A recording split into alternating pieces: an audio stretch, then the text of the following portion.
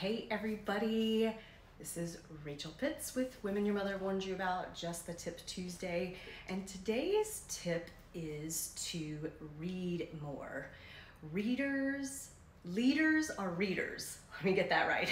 Leaders are readers. So what I've been doing lately, I've been reading this book, Limitless by Jim Kwik. It's so great. Um, we will be sure to give you um, a link in our show notes on this, but you can look up Jim Kwik, K W I K, right here on Instagram and grab his book. I highly, highly recommend it. And I've really been studying Jim Kwik ever since I heard about him in Game Changers by Dave Asprey.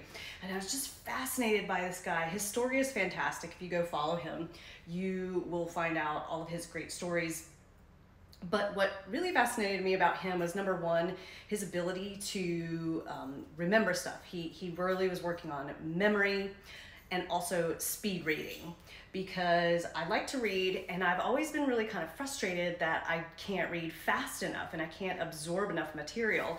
And Gina commented the other day, and I thought it was really interesting. She said that the amount of books that I go through is actually really impressive, but I listen to a lot of audiobooks. Like every morning I walk my dog for a couple of miles and that's the time that I always listen to audiobooks and I also when I'm in the car, I always listen to audiobooks. So I really churn through a great deal of material that way. And I realized that reading books is a totally different cognitive process and it's so, so important. And I have you know, I was looking yesterday as I was reading this book. Um, just on my living room bookshelf, I have probably like 100 books and I have another bookshelf in my office with more books that a lot of them I've started reading to be honest and I haven't finished. So one of the reasons that I picked up this Limitless is because I wanted to learn how to read faster so I could absorb more information and I could get smarter and I just I love improving myself and I think that is one of the most important parts of life is to continue to learn, and continue to grow all the time and it's a lot of fun actually. Um, so the process, I'll just give you a couple of things and one of the things that I'm doing right now is taking Jim Kwik's advice, which is to teach you about some of his processes. Um, learning faster, he's got this uh, acronym FASTER. One, uh, the F is for forget, basically forget everything you know so that you're open. Uh, the A is for act, so make sure that you're active in your learning. S is for state, so what state are you in? Are you in a good mood? Are you in a bad mood? Try to check your state. T is for teach, which is what I'm doing right now, trying to teach you a little bit about the process of learning faster and more effectively. E is for enter, which is enter it on your calendar. So if you are going to learn and study and improve yourself, make sure that it's on your calendar. What gets scheduled gets done. And so my calendar, every morning I have my walk and my workout, and I have my reading session now entered in every morning. Very important. And then R is review. So you just go back and review what you've learned so that you don't forget it.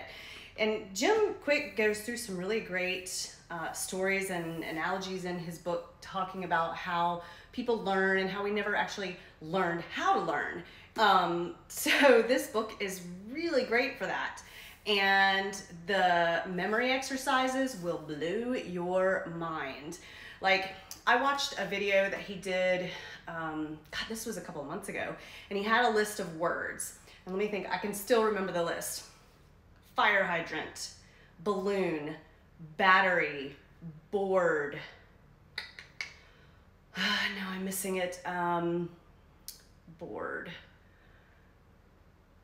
Diamond, night, ox, toothpaste, sign.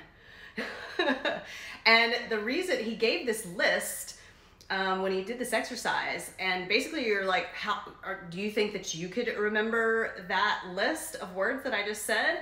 Probably not. So I'll give it to you again really quickly. Fire hydrant, balloon, battery, board, diamond, night, as in dun, dun, dun, a night, ox, toothpaste. Oops, I missed one. Hold on fire hydrant, uh, fire hydrant, balloon, battery, board, diamond, night, ox, toothpaste, sign. I'm missing one, I know, because I think there were 10. Anyways, so my memory is not great. But what he does is he at, he created this story so that I, when I'm thinking of it, I can remember it. So the story was, there's a giant fire hydrant I'm standing beside. It's as big as life. And then there's a balloon that attaches to the fire hydrant and it floats up into the air. And then all of a sudden these batteries, all these batteries fly from everywhere and pop the balloon. And the batteries are being launched by a board, like a seesaw, a board up to this, up to the, um, to the fire hydrant. And the, the board is balanced on a giant diamond, this diamond and then the knight comes and steals the diamond and he runs away. But then he runs into an ox and the ox is in his way. And he, in order to get the ox out of his way, he brushes his teeth with some toothpaste. And then, boom, there's a giant sign that's all neon and explodes. Now, maybe there's only nine and I can't forget one. Hold on, it's in here somewhere. Let me see if I can find it.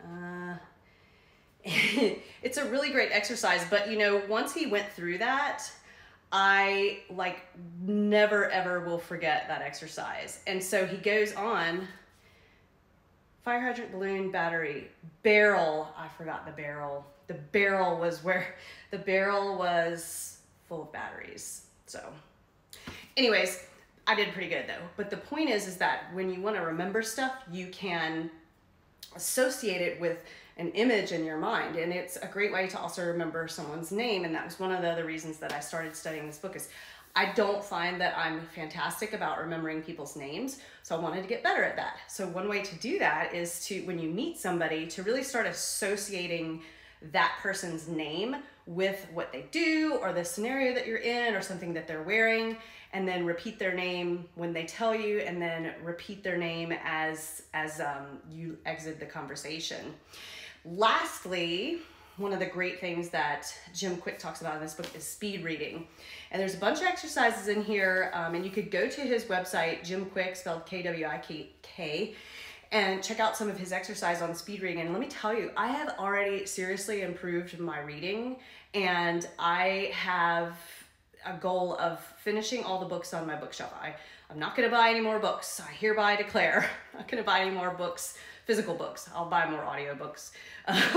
But I'm gonna try to read all these books. And one of the things, and it's really kind of feels weird at first, but once you start doing it, you get better at it. And that is to read with your finger, that you go through um, the words faster.